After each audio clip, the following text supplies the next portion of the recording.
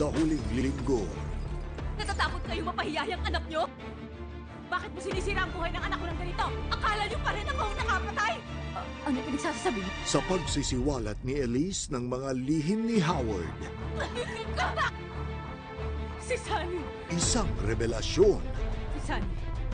Ang anak mo! Gusto mo siya makita? ang gigimbal sa kanya.